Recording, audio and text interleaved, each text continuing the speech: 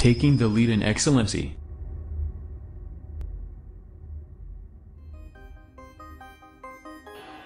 Ground ball to second base. This should do it. Hernandez